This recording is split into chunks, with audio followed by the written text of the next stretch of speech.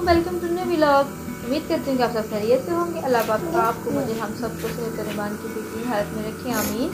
तो दोस्तों जनाब, अपने ब्लॉग की तरफ़ आते हैं। आज का मेरा ब्लॉग स्टार्ट हो रहा है नाश्ते से। सुबह का टाइम है संडे है और हम लोग नहारी से नाश्ता कर रहे हैं और हमारे साथ हुरैन भी बैठी हुई है जनाब। और यहाँ मैंने टमाटर मंगाए हैं। ये छोटे छोटे टमाटर्स हैं, बट आपको पता है टमाटर्स क्या है? टमाटोज़ हैं। और आपको पता टमाटर कितने महँगे हैं तो मुझे यही मिले तो मैंने यही ले लिए। और यहाँ पे हुरैन क्या कर रही है टमाटरों को निकाल के ना तो हमना को दे दे रही है कि ये देखो क्या ये समझे कि खाने की चीज़ इसने क्या किया? कुछ टमाटर लेके ना अपने हाथों से दबा भी दिए। तो, तो जनाब चलें आज बनाते हैं चिकन मुगलई। और इसकी रेसिपी जो है बड़ी डिटेल के साथ मैं शेयर करूँगी आपसे। यहाँ पर मैं तीन से चार प्याज ली है तीन से चार मिनट टमाटर ले लिए हैं। और चिकन मुगलाई में खड़े मसाले जाएँगे आपको नज़र आ रहा है वन टीस्पून मैंने सॉल्ट लिया है वन टीस्पून मैंने लाल मिर्च लिया है हाफ़ टी स्पून हल्दी ली है वन टीस्पून मैंने पिसा धनिया लिया है साबुत धनिया वन टीस्पून तीन से चार मैंने डाली हैं इसमें इमली के दाने आठ से दस हरी आठ से दस काली मिर्चें हैं ज़ीरा डाला है थोड़ा सा तेज तेज़पात डाला है दालचीनी का छोटा सा पीस डाला है मेरे पास गोल मिर्च नहीं थी तो मैंने दड़ा मिर्च हाफ़ टी स्पून डाल दी है आप गोल मिर्चें ज़रूर डालिएगा इसमें और मेरे पास आलू बुहारी भी नहीं थे अवेलेबल घर पे तो मैंने क्या किया था इमली के तीन से चार डाल दाने इसमें डाल लिए थे और ये जनाब आठ से दस मैंने जो है लहसन के लिए थे उसको एक कप पानी में डाल के अच्छा ब्लेंड कर लिया था। हमारी जो रेसिपी है, आज की इसकी जो जान है ये लहसन का और अदरक का पेस्ट है। अदरक तो नहीं थी, मेरे पास लहसन था, आप दोनों को डाल के एक पेस्ट बना लीजिएगा, पानी बना लीजिएगा इसका। इससे क्या होता है कि हमारे जो चिकन मुगलई है, ये बहुत ही मज़े का बनेगा जनाब। और यहाँ मैंने चिकन को अच्छे से धो लिया था, तकरीबन तीन पाँच इतना चिकन है। और यहाँ सबसे पहले हम क्या करेंगे कि हमने जो एक कप पानी बनाया था लहसुन और अदरक का उसको हम इसमें डाल लेंगे और उस वक्त तक इसको थोड़ा उस वक्त तक हम इसको बॉयल करेंगे जब तक इसको हल्का सा बॉयल आ जाए और तब इसके बाद हम क्या करेंगे जनाब कि हम इसमें अपने जो प्याज हैं, ये देखें स्टेज पे हम क्या करेंगे, इसमें हम शामिल कर देंगे जनाब प्याज। तीन से चार प्याज जो मैंने काट के रखे हैं वो शामिल कर देंगे और थोड़ी देर इसको जस्ट हम करेंगे फ्राई हम इसका कलर चेंज नहीं करना हम इसको कलर नहीं देना। और इसके बाद जनाब हम क्या करेंगे कि इसके बाद हम इसमें थोड़ा सा फ्राई करने के बाद हमने इसमें जैसे इसमें बबल आने लग जाएँगे प्याज में भी तो हमने क्या करना है जनाब कि इसमें हमने चिकन ऐड कर देना है, जो हमारे पास धुला हुआ चिकन रखा था। हमने उसको इसमें प्याज और लहसुन वाले जो पेस्ट है बैटर है, जो इसमें हम लोग क्या करेंगे जनाब कि हम लोग चिकन ऐड कर लेंगे। और जब आप ये फ्राई कर रहे होंगे ना चिकन को तो लहसुन का जो पानी, इसका अरोमा इतना मज़े का आएगा, इतनी मज़े की खुशबू आ रही होगी आपके किचन से और आपके घर से। आप बहुत इंजॉय करेंगे। और यहाँ जनाब मैंने चिकन शामिल कर लिया है और चिकन शामिल करने के बाद मैं क्या करूँगी कि इसको मैं थोड़ी देर फ्राई करूँगी, ठीक है? और अभी तो अभी अभी तो यहाँ जनाब मैं अभी तक तो मैं चिकन ही डाल रही हूँ यहाँ पे। तो ये देखिए मैं इसको फ्राई कर रही हूँ। इसको ज़्यादा फ्राई नहीं करना हमने, इतना कि इसका कलर थोड़ा सा चेंज हो जाए चिकन का कलर जो है वो पिंक से वाइट वाइटिश हो जाए। इतना हमने इसको फ्राई करना है, ठीक है जनाब? और बहुत ही मज़े की रेसिपी है फुल रेसिपी देखिएगा मिस ना कीजिएगा स्किप ना कीजिएगा, नहीं तो आपको रेसिपी की समझ नहीं आएगी। और यहाँ देखिए मैं इसको फ्राई कर रही हूँ अभी तक। कि इसका कलर थोड़ा सा चेंज हो जाए। उस तक फ्राई करना है आपने इसको। और ये रेसिपी की जो डिटेल्स और इंग्रेडिएंट्स जो है मैं डिस्क्रिप्शन बॉक्स में भी डाल दूँगी। अब वहाँ से भी देख लीजिएगा इसको। बहुत ही मज़े की रेसिपी है, इसको ज़रूर बनाइएगा। मुझे इसका टेस्ट बहुत मज़े का लगा।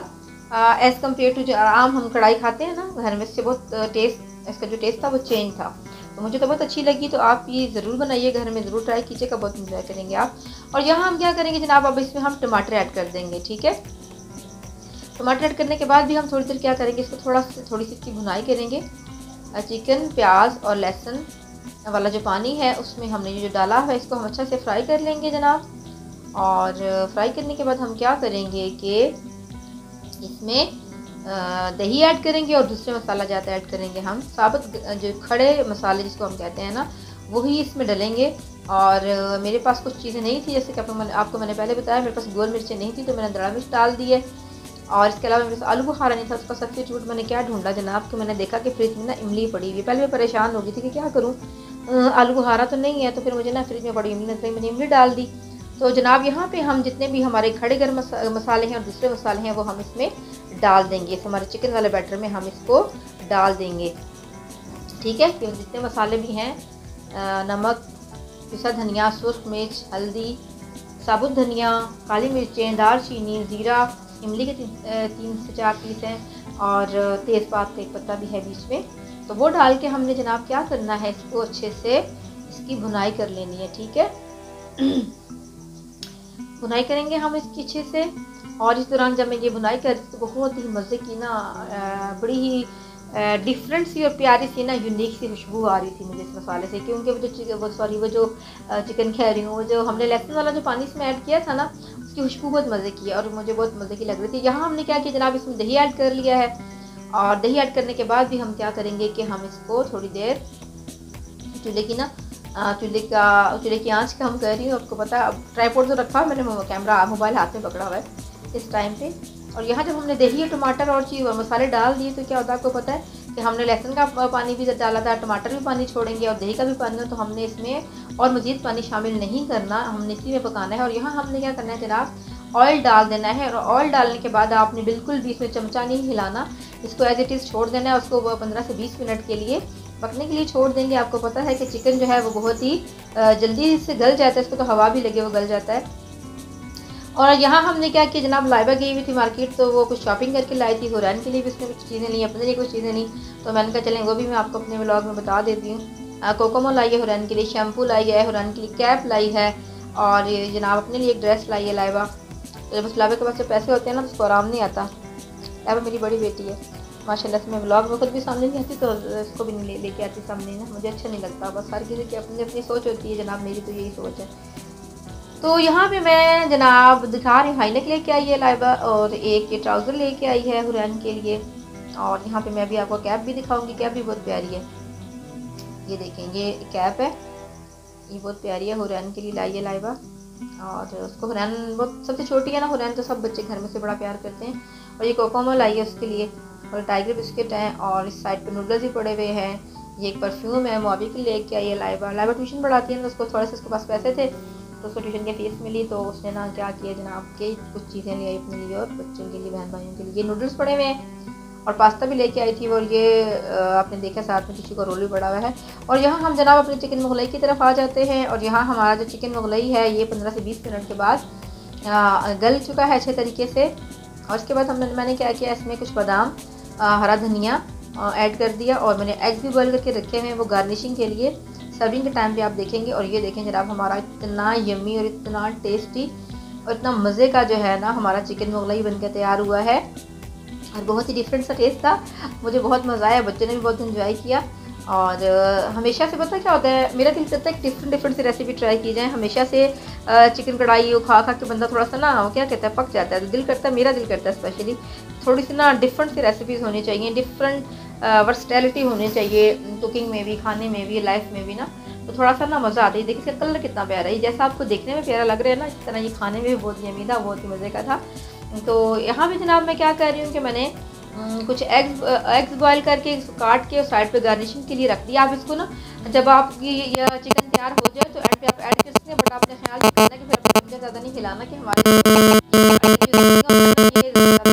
नाजुक होती हैं, ये मिक्स ना हो जाए सालन में तो मैंने क्या किया, इसको मैंने मैंने सोचा कि इसको एंड पे जब हम अपनी प्लेट गार्निश करेंगे तो सर्विंग टाइम पे मैं आपको दिखाऊँगी। जो देखिए, माशाल्लाह से कितना रंग बिरंगी सी डिफरेंट सी, माशाल्लाह से प्यारी सी खिलती हुई रेसिपी है। और देखिए, ये मतलब एक एक चीज़ होती है ना, आपने खाना जितना भी अच्छा बनाया है ना, जब तक आप उसको प्रेजेंटेशन उसकी अच्छी नहीं करेंगे, अच्छे से उसको गार्निश नहीं करेंगे तो ना वो पता नहीं चलता कि डिश कितनी अच्छी बनी हुई है ना। तो यहाँ पे बहुत ही मज़े की डिश बनी हुई है जनाब। हूँ। और मैं खुद भी इंजॉय इंजॉय करेंगे। और मुझे कमेंट्स में ज़रूर बताइएगा, ये रेसिपी ज़रूर ट्राई कीजिएगा। और मुझे बताइएगा कि ये रेसिपी आपको कैसी लगी। ठीक है? जनाब तो बार बार ही आपको ये क्लिप दिखाई जा रही हूँ मैं, ताकि आप सबके मुँह में पानी आए और आप इसको बनाने की ट्राई करें। और ये हमारा डिनर टाइम है जनाब, यहाँ पे हम सब बैठ के खाना खा रहे हैं। और मुआविया जो है, वो ना अभी आपको यहाँ वीडियो में ना यहाँ से उसने एक अंडा उठा लिया है और वो दिखाएगा कि मैं अंडा खा रहा हूँ। एग खा रहा हूँ ना, शरारतें कर रहे थे बच्चे इस टाइम पे, मुझे वीडियो क्लिप नहीं बनाने दे रहे थे। कहते हैं मामा आप क्या वीडियो बना रही हैं? तो मैंने कहा, भाई, ये मेरा काम है ना मेरा शौक है, भाई, मैं तो ये देखिए मौलिया ना, एग दिखा रहे मैं एग खा रहा हूँ। तो यहाँ पे सब बैठे खाना खा रहे हैं जनाब और बहुत ही साथ में चिट चैट भी लगी हुई है, थोड़ा सा एक दूसरे को तंग भी कर रहे हैं। हुरैन जो है हमारी, वो भी तो कहीं बैठी हुई है, लेकिन अभी आपको वीडियो क्लिप में वो नज़र नहीं आ रही। तो जनाब, ये था मेरा आज का व्लॉग उम्मीद करती हूँ आपको अच्छा लगेगा। अगर वीडियो अच्छी लगे तो लाइक कीजिएगा कमेंट कीजिएगा शेयर कीजिए, कीजिएगा। मिलते हैं नेक्स्ट व्लॉग में। टिल देना अल्लाह हाफिज़। अपना बहुत सारा ख्याल रखिएगा। बाय